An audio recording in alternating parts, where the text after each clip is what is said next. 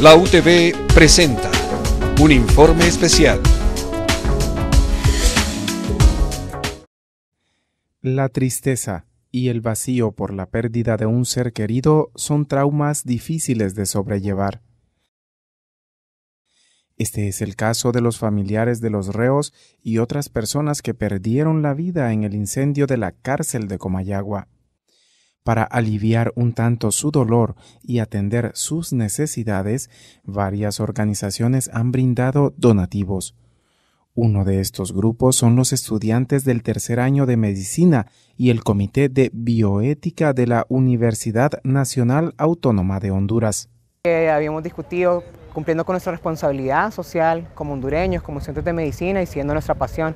Pero fue el Comité de Bioética quien empezó a organizar las ideas, empezó a más o menos formar un plan estratégico de trabajo. Ya el día miércoles ya convocamos una reunión de estudiantes de tercer año, a la cual asistieron estudiantes de otros años también, y nos organizamos ya para iniciar a trabajar el jueves mismo recolectando fondos. La donación consiste en ropa, en botellas y bolsas con agua, en eh, cosas de utensilios personales como sea toallas sanitarias, jabón, eh, algunos medicamentos como antigripales, acetaminofén, amoxicilina, trimetropin sulfa, que es un desparasitante, eh, papel higiénico, entre otras cosas, que donó entre, las clases, entre los mismos estudiantes de la Universidad Autónoma, algunos de los estudiantes de, de ética médica y donaciones que hicieron cuando recolectamos los fondos.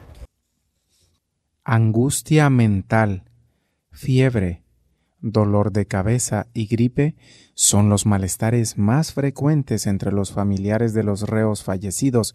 Sin embargo, algunos presentan cuadros clínicos más graves. Eh, viene como por su estado emocional con que se encuentran, eh, principalmente dolor de cabeza, dolor de estómago, eh, por que se pasan serenando y pasan en el sol, pues se están presentando cuadros de gripes, eso más que todo. Fiebres. Hay pacientes hipertensos, hemos, visto, hemos visto pacientes con azúcar, diabéticos, y pues han tenido algunas descompensaciones y se les ha trasladado respectivamente al hospital escuela.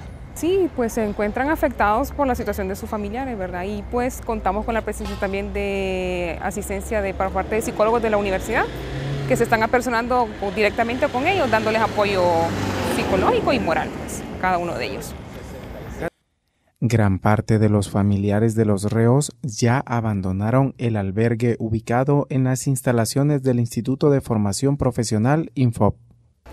Quienes se encuentran en este albergue, familiares o amigos de los reos que perdieron la vida en el incendio de la cárcel de Comayagua, sufrirán quizás por toda su vida la pérdida de sus seres queridos. Sin embargo, todos pueden contribuir para hacer quizás un poco más llevadera su tristeza.